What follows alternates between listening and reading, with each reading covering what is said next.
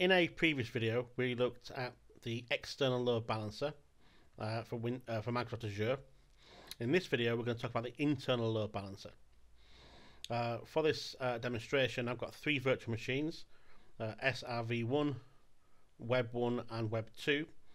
All three of the virtual machines are on the same internal network uh, called Net1.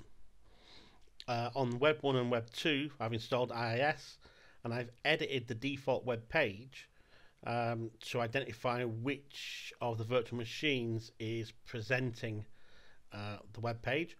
And I'll be testing this service from uh, server 1, SRV1. Now, to show you um, the results that we should expect when the internal load balance uh, is, is configured, we're going to use SRV1 uh, to test the connection. So if I flip to SRV1 now, so this is um, SRV1, and you can see its internal IP address um, listed there as 192.168.1.4. The two web servers are 192.168.1.5 and 1.6. If I go to an Explorer, you can see here that I've opened up a HTTP connection to 192.168.1.7 and you can see the the web page identified has been presented by web 2 if we open up Chrome and use the same HTTP address so here the same IP address 192.168.1.7 but this time web server 1 is presented presenting the web page now this is an example of the internal load balancer. The internal load balancer endpoints are, uh, sorry, the load balancer is created based on a network and then you assign different VMs to that load balancer. So uh, Microsoft Fabric Control then will keep keep track of this.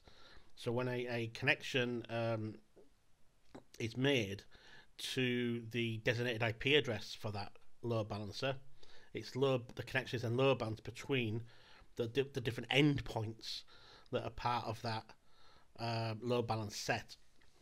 If we hit refresh enough times, so we hit refresh once there, you can see now that we've connected to Web 2 from inside Chrome. This is, is a bit hit and miss, but again there you see we press refresh on in Explorer, and now we've connected to Web 1. So my load balancing is working okay. And we're load balance between two endpoints. But let's take a look at how this was created. Now, when we created the external load balancer, we used um, the Azure Management Portal to add the load balance endpoints to our different VMs. And we said that the external load balance uh, endpoints now are accessed through the VIP, the virtual IP address for the cloud service. Well, the internal load balancers for this VNet are created using uh, PowerShell. So let's let's leave SRV1 and let's have a look at the PowerShell commands needed to create this internal load balancer. So as you can see here, we're using Windows PowerShell ISE um, I've already connected um, PowerShell to my Azure subscription and you can see how to do that in a later video. The first command that we need then, the first commandlet that we need is the add dash Azure internal load balancer commandlet. This um, commandlet allows us to create a load balancer and it's assigned a particular name. We assign the subnet that that load balancer is configured on and the cloud service that the load balancer will work with. Now all of my virtual machines are in a cloud service called MGB Leads CS and they all exist on a subnet called Net1. And what this command is going to do is um, reserve an IP address. It's going to grab the next available IP address in Net1 and that will be the IP address that the internal load balancer service will now monitor.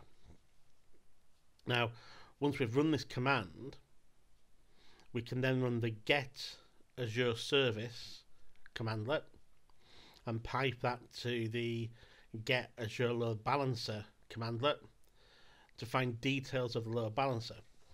Now I've already run these commands, I've already run the add Azure internal load balancer commandlet. So let's just run the get commandlet here, the get Azure service, service name, pipe to get Azure internal load balancer. We'll just run that and we'll check its results. So here you can see uh, the load balancer is created. You've got the, the name for the load balancer, the service attached to, um, and crucially here, the subnet and IP address that's been reserved for that load balancer. So you can imagine in your DNS services now, you can map any host names that you want to be load balanced to this single IP address. That might be www or whatever you need really could map to this single IP address. And then Microsoft services will now load balance this IP address to the different uh, VMs. But first of all, you've got to assign the VMs. So to do that, we need to get a uh, virtual machine and then use the add Azure endpoint commandlet to add a, a, new internal endpoint. This is an endpoint that we cannot add through the we can't add it through the um, Azure Management Portal. It can only be added through the uh, PowerShell. So the add Azure endpoint commandlet is used.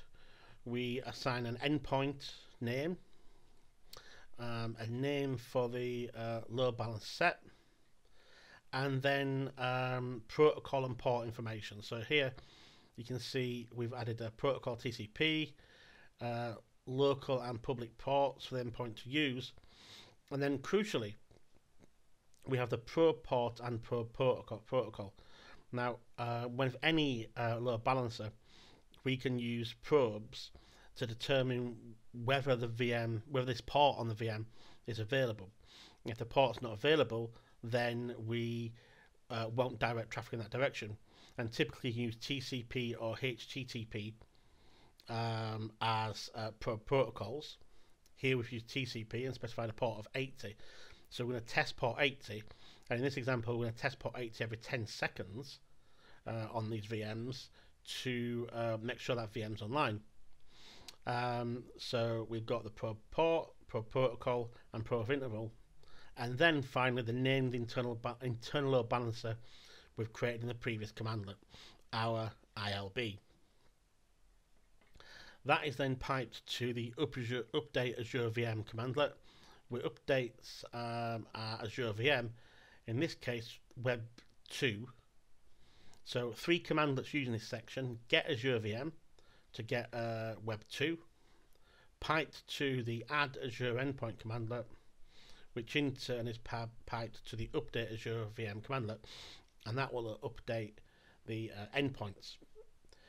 Um, just a, a, very quick note. Notice a little um, tick at the end of uh, line 7 um, that little sort of tick there just means that the, the, the line is carried on. So the minus probe interval parameter could have been typed directly after the probe protocol parameter. But by using that little tick, we're saying carry this line on, and it's just so we can see more information on the same page.